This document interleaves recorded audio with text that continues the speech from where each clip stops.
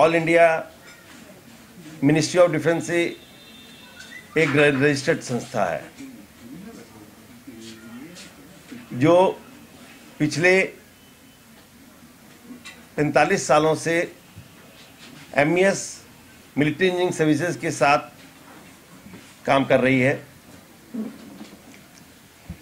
जिसमें all India में हमारी 73 ब्रांचेस हैं। कारगिल नॉर्दर्न इंडिया में कारगिल ले बारामूला ईस्टर्न में हिम अरुणाचल में टेंगा शिलोंग सदर्न में कर, कोची बेंगलोर मैसूर वेस्टर्न में जैसलमेर ऑल ओवर इंडिया हमारी ब्रांचेस हैं जो हम लोग मिलिट्री इंजीनियरिंग सर्विसेज़ के बेसिक एम्यूनिटीज़ को हम फुलफिल करते हैं, जिसके अंतर्गत हमारे तीनों सेवाओं, तीनों सेनाओं के wings army air force and navy की मूलभूत संरचनाओं को हम लोग पूरा करते हैं, जिसके तहत हम लोग उनके मेरिट एमोगोडेशन प्रोजेक्ट्स ऑफिसर्स के रहने वाले मकान O T M other than merits जिसमें जवानों के लिए मकान और उनकी मूलभूत रोड्स बनाना, उनके हैंगर्स बनाना, इन तरीके की सारी सेवाओं को हम लोग पूरा करते हैं। पर पिछले एक साल नौ महीने और एक साल के अंतर्गत आज तक कभी भी इस मिलिट्री के इतिहास में नहीं हुआ कि हमारे ठेकेदारों की पेमेंट रोक दी गई। जिसके तहत पूरे ऑल ओवर इंडिया में हमारे दस हज़ार कॉन्ट्रैक्टर्स हैं। और उनके साथ तीन लाख हमारे स्टाफ हैं। और उन स्टाफ के साथ, हर एक स्टाफ के साथ सौ सौ लेबर्स जो उनके साथ काम करती है। ऑल इंडिया में पंद्रह लाख से बीस लाख लेबर हम लोग डायरेक्ट एम्प्लॉय करते हैं, जो इस समय भुखमरी की कागार पे है। लास्ट 24 अक्टूबर को भी हमने एक प्रेस कॉन्फ्रेंस करी थी, जिसमें आप लोग के सहयोग से, आप लोगों ने जिस तरीके से हमारी आवाज़ उठाई थी, उसके तहत रक्षा मंत्री जी के यहाँ से हम लोग को बुलावा आया था और हमारा डेलीगेशन उन लोगों से मिला था। जो वाइस प्रेसिडेंट हमारे अजीज़ुल्ला साहब हैं, ये बेंगलोर से आते हैं, नॉर्दर्न रीजन से करण कपूर जी हैं, जो जम्मू से आते हैं, हमारे सेक्रेटरी साहब हैं, नागपुर से आते हैं और हमारे ट्रेजरार हैं जो दिल्ली से आते हैं। दिवाली से पहले हम लोग उनसे मुलाकात करी, जिसमें उन्होंने हमको बहुत छोटी दिलाई कि दिवाली पे हम आपकी पेमेंट कर देंगे, जो 1600 करोड़ के आसपास अप्रॉक्सीमेटली हमारे इंजीनियर चीफ ने उनसे डिमांड करी थी। जिसके तहत केवल हम लोगों को 250 करोड़ रुपया मिला, जो जिसमें हम लोग की दिवाली ही बोलना नहीं चाहिए, पर बड़े मेरे को एज ए प्रेसिडेंट मेरे ऑल इंडिया कॉन्ट्रेक्टर्स ने कह दिया कि यार, हमारी दिवाली काली हो गई। हमने अपनी लेबरों को पेमेंट नहीं किया स्टाफ को पेमेंट नहीं किया, और जो मटेरियल खरीद रहे थे, उन लोगों ने भी हम लोग के हाथ बाँध लिए कि अब आप लोग जिस हालात में जा रहे हो, आप लोगों से पैसा हमें नहीं मिलेगा और हमने, उन्होंने भी हमको माल देना बंद कर दिया।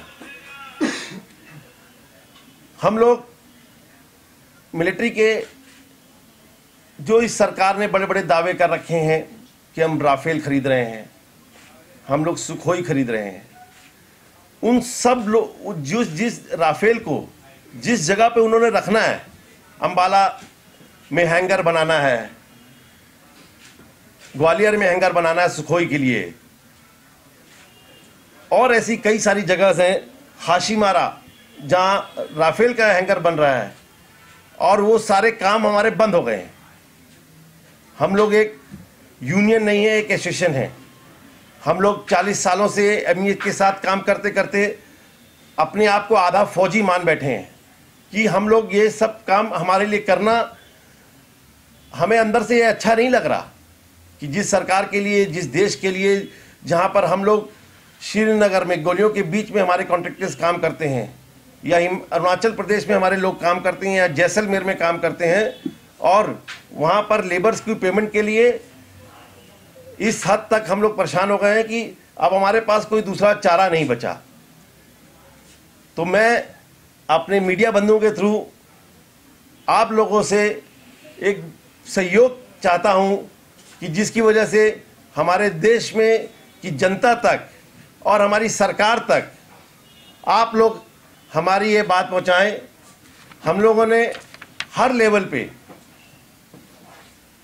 अपनी बात को पहुँचाया है, जिसके तहत हमने रक्षा मंत्री, रक्षा राज्य मंत्री भामरे साहब, अभी last month doctor Jitendra Singh हैं पीएमओ मिनिस्टर उन तक हर लेवल पर हम लोगों ने बात को उठाया।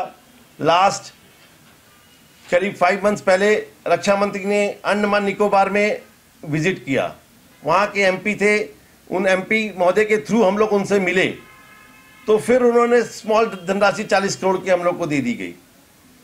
ऐसी किस्तों में जिस तरीके से हम लोग को पेमेंट्स मिल रही है, आज हम लोग बहुत खस्ते हाल में पहुँच गए हैं और हमारे लोग, हमारी गर्दन तक पकड़ के बैठे हैं, हमारे सप्लायर्स हमारी लेबर आज इस बात के लिए मैं अपने सेक्रेटरी साहब से भी बोलता हूँ कि आपको सीरियल वाइज ज़रूर एक बार बताएँ, किस हद तक हमने पीएम को, रक्षा मंत्री को, रक्षा राज्य मंत्री को, हर लेवल पे हमने उनको बताया। मैं सेक्रेटरी साहब से कहता हूँ कि जरा आप डिटेल में एक बात को इनको ज़रूर बताएँ।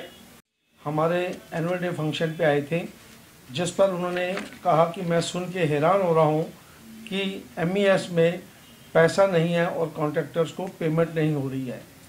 बहुत सारे अर्ध सुरक्षा बल मेरी मिनिस्ट्री के अंडर में हैं और पैसे की कोई कमी नहीं है। मैं प्रधानमंत्री से बात करूँगा और रक्षा मंत्री से बात करूँगा कि जहाँ पूर्ण फौज काम कर रही है, उस विभाग के लिए पैसा कैसे नहीं है। कहीं तो भी ये बीच में गलत फहमी है कि जो पैसा आप तक नहीं पहुँच पा रहा है। मगर आज पूरा एक वर्ष होने पे आ गया उसके ऊपर से कोई भी पैसा हमारे को अतिरिक्त नहीं आया, सिवाय अठारह उन्नीस के बजट की अलॉटमेंट के। मैं यहाँ पर ये विशेष रूप से कहना चाहूँगा कि 1500 से 2000 करोड़, ये जो बैकलॉग है, हमारी डिमांड है कि आप अपने वार्षिक बजट के अलावा ये अतिरिक्त धन जो है डिपार्टमेंट को जब तक नहीं देंगे तो ये बैकलॉग ख़त्म नहीं होगा। मगर सरकार की ओर से ये बैकलॉग कहीं भी ख़त्म करने की कोशिश नहीं की जा रही और ये साल के साल बैकलॉग बढ़ता जा रहा है। उसके बाद में हमने डिफेंस मिनिस्टर को 17 जनवरी को 23 जनवरी को और 23 फरवरी को ऐसा तीन बार उनको पिछले वर्ष में चिट्ठियाँ लिखी और उनको अवगत कराया जिसका उनकी ओर से कोई भी जवाब नहीं है। जैसा कि हमारे प्रेसिडेंट सर ने बताया अंदमान निकोबार के में दिवाली के ऊपर जब रक्षा मंत्री वहाँ गए तो वहाँ के एमपी के द्वारा उनको पर्टिकुलर अंदमान निकोबार की डिमांड बताई गई। तो वहाँ जो 40 करोड़ उस समय अर्जेंट चाहिए थे दिवाली के ऊपर, उन्होंने वो 40 करोड़ सिर्फ़ अंदमान निकोबार में पेमेंट करने के लिए विशेष रूप से दिए। उसके बाद में हम लोगों ने दो, एक फरवरी 2000 को एक दिन की स्ट्राइक भी करी है। हमने राज्य रक्षा मंत्री सुभाष बामरे जी से तेईस दो को मुलाकात की और उनको अपना मतलब एजेंडा में जो पॉइंट्स थे वो भी दिए कि किस तरीके से हमारे पैसे की कमी है और इसको पूरा किया जाए। सिस्टम में प्रॉब्लम है। आप लोग हमारी आवाज़ बन सकते हैं।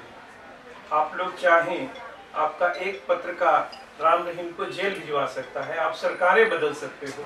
हम क्या वोट बैंक नहीं है, इसलिए ऐसा है। आज किसानों को आप कर्ज माफ़ कर देते हो माना वो अन्नदाता है। आप इंडस्ट्रिस्ट को बेल आउट देते हो वो आपके चहेते हैं। हमारे साथ कौन खड़ा होगा। हम अपने आप को आधा सैनिक मानते रहे और आज भी ये मानते हैं ये ये ये दहलीज भी आज इसलिए लांगनी पड़ी कि कोई चारा नहीं बचा था। तो इस खबर को एक, एक हमारी प्रार्थना है कि मरने मत दीजिएगा। इसका फॉलोअप कीजिए। हम आपको अपने सेक्रेटरी और प्रेसिडेंट का नंबर देते हैं। पूरे हिंदुस्तान के अंदर हमारी ब्रांचेस हैं हमारे मेंबर्स हैं। आप उनके साथ आप लोग भी इंडिया लेवल पर आपके कनेक्शंस हैं। आप जरा पता कीजिए क्या हो रहा है।